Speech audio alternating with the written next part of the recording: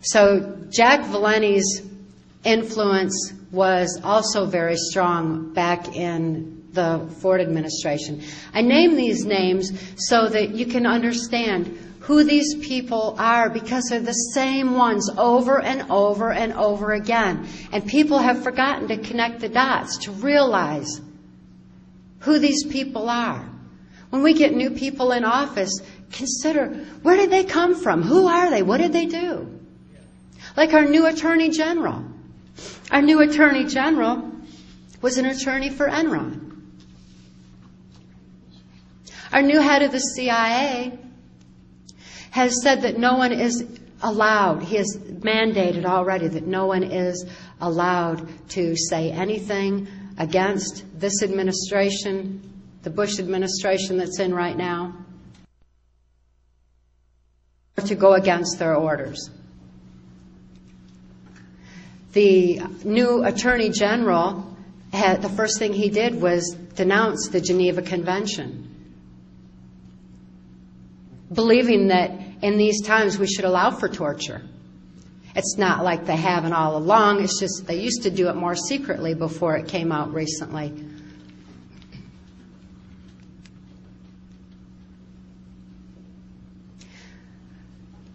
It's important that we consider that we've got the same people in place, and it's just a small handful of criminals, and it's absolutely inexcusable that we continue to leave them in power.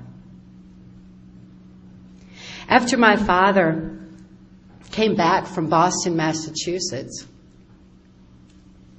I was subjected to extensive, systematic abuses. The sexual abuse that I had endured was extending into ritual abuse and more tortures. The ritual abuse that I experienced within our local Catholic Church was very deliberate for the purposes of mind control. It's not to say that all Catholics are bad. There's some very, very good, concerned Catholics who are as outraged as you and I are that that kind of abuse is going on in the church. They're as outraged as we became when we began to learn about this Boston connection.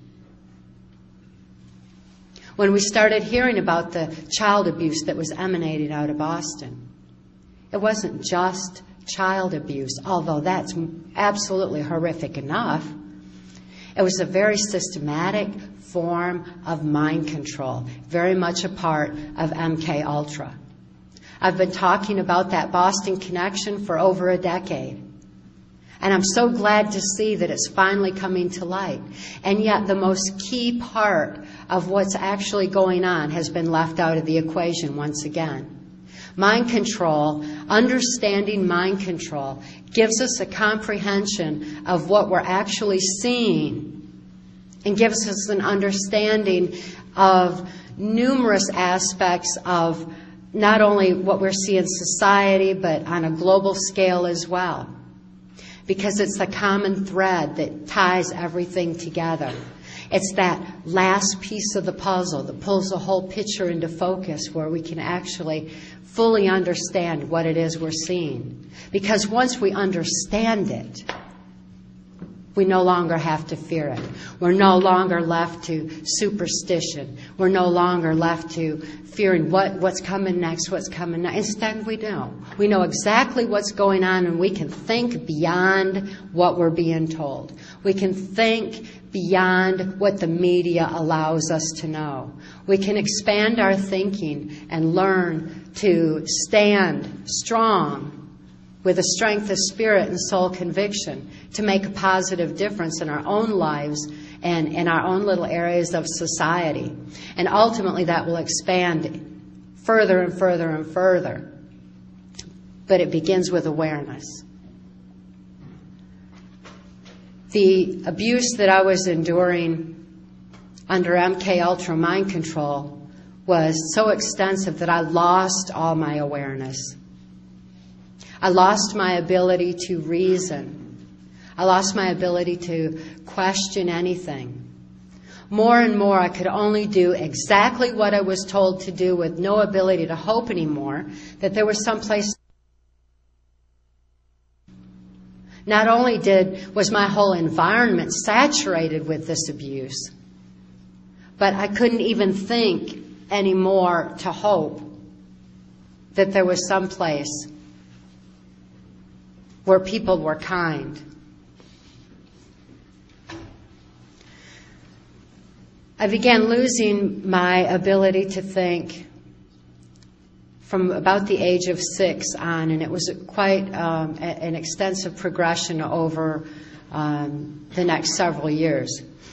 This included going to the governor's mansion in Mackinac Island, Michigan. At that time, George Romney was the governor of Michigan, and he was very much interested in taking a powerful form of mind control gleaned from the Catholics, taken from the Catholics, taken from the, the CIA and the Hitler Himmler research, and, and also into the um, technological advancements, and put it into his Mormon church.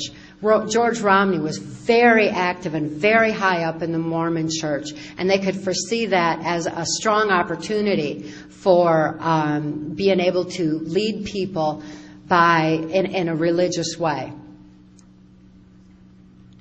People are are easily led by a religion because they they they do want to do what God tells them to do, but the religion that they're being taught is outside themselves when in fact that spirituality and relationship with God is within.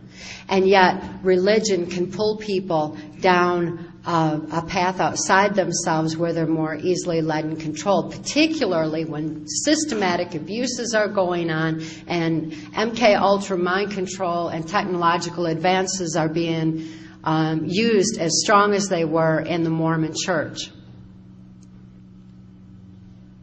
That's not to say all Mormons are bad. There's um, there's quite a few Mormons who are who are standing up once they're able to think for themselves to make a positive difference and stop the abuse in their churches as well.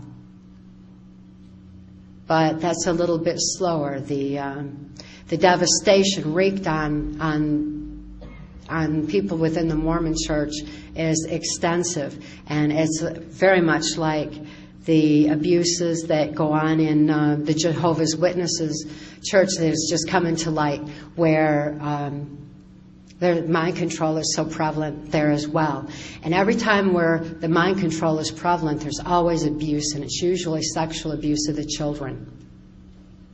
We need to become aware of how people are being led this way. When we have uh, politics that have no separation of church and state, it allows for them to um, dictate or to provide the information through the churches on, on a political agenda as well. And it's a, a, very dangerous and a very powerful combination, yet nevertheless is all moving towards the same goal of a mind control of the masses. And Mackinac Island, Michigan, um, I also heard George Romney talk about what is now known as global education, where bringing the um, a, a form of mind control into the education system and altering the history and also pumping information into the children's head at, at, a rate to where they have they lose their ability to discern and to creatively utilize the information, but nevertheless it's just being pumped into their head especially with the onset of computerization and harmonics coming through the headphones while they're um, sitting at some of those computers. The computers were also deliberately uh, designed to alter the history that they were being taught because it was believed that to control the future, all they needed to do was control the history. Again, alter that knowledge base so that when they do formulate any thought or action, it's based on something that's totally false or, um, or is something that's lacking key elements, such as mind control, such as what really went on in Nazi Germany.